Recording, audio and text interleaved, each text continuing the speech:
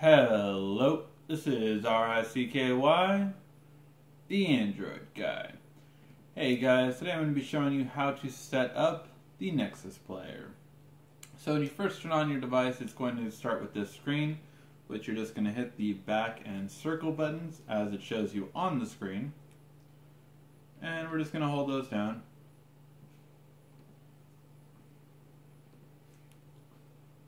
And then it will connect to the remote. and then you're checked off, as you can see. From here, we're just going to type in English. Sorry, it's a bit hard to see on this one. And then we're going to connect to our,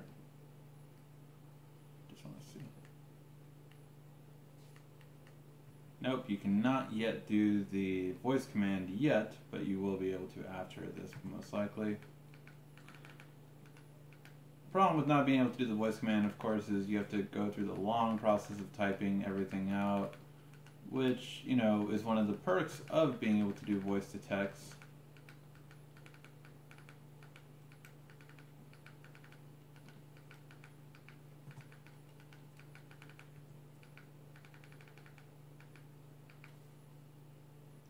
And now we're going to connect to the network.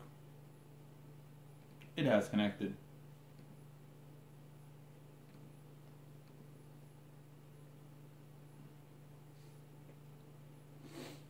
And so you can see when it first turned on, you are going to have to do a system update.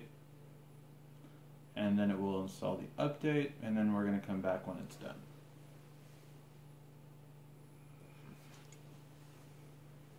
Once you start up, after the update, it will ask you to either use your phone or use your password to sign into your Google account. We'll go with use your phone. So you're going to go to this website on your phone now and then enter in that password code. So that's what I'm going to do on my phone right now.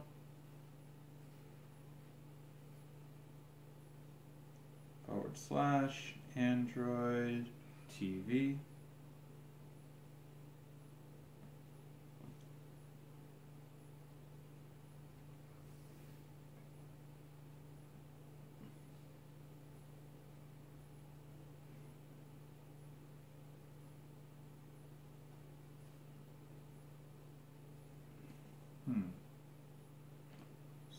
To not go through.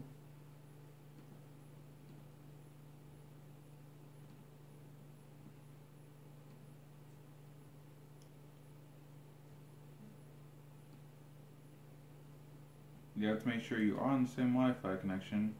And there you go. So now it went through. I don't know why it didn't go through the first time. But now we're going to enter this pin in and so you can see. This was what the website should look like. And then it will connect.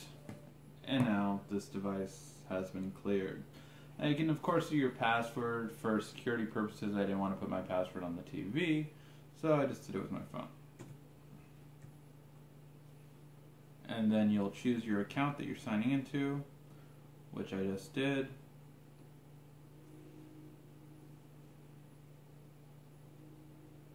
and it's just telling me that now I'll have everything from my music to my videos uh, all on here. And you're going to continue. Then you're going to allow uh, for location for Google and third-party apps. If you don't feel comfortable doing this, I don't see why you would need location too much for this, except maybe like using Yelp or navigation purposes. But other than that, you probably won't need this. And then we're finished.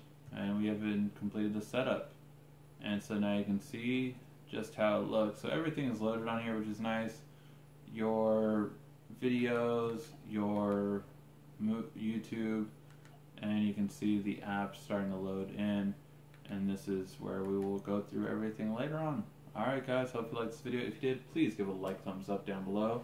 Thank you for watching. This has been R-I-C-K-Y, the Android Guy.